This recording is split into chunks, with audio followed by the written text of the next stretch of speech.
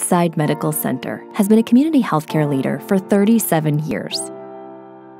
Built in 1979 and originally named Gwinnett Community Hospital, Eastside first opened its doors on January 3, 1980, and housed over 100 patient beds. As the population of Gwinnett County continued to grow over the years, so did the need for additional access to quality healthcare.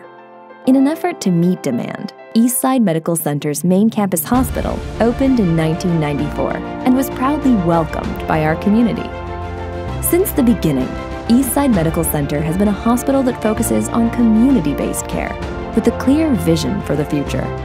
Today, the Eastside Medical System of Care consists of two hospitals with 310 beds, two full service emergency departments, three urgent care centers, a medical staff of 450 physicians, over a thousand employees, over 400 volunteers, and over 40 nurse residents annually.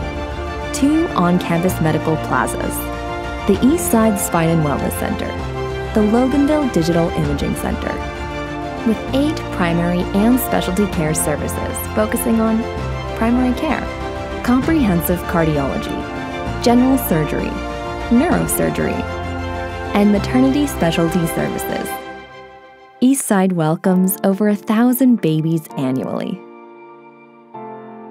Emergency care provided to over 65,000 annually. And over 500 joint replacements annually.